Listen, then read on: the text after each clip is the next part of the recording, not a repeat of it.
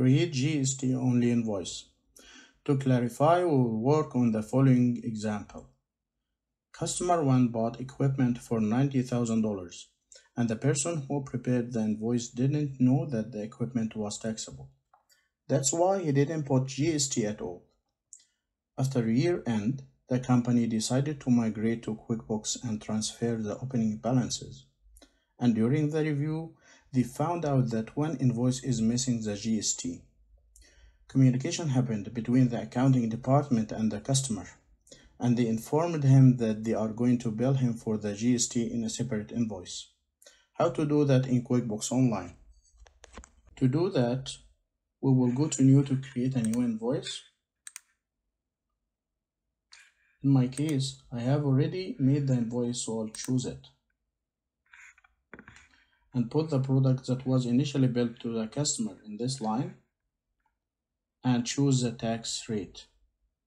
Then in the next line, I'll put the same product and its quantity in a negative value and choose the tax rate as out of scope.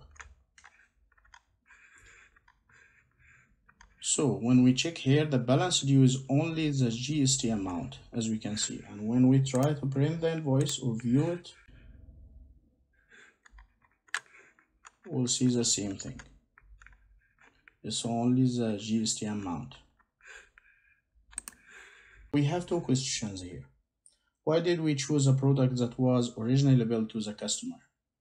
We did that to make it easier for us later to track and for the customer to understand what the GST is for and get the correct GST amount.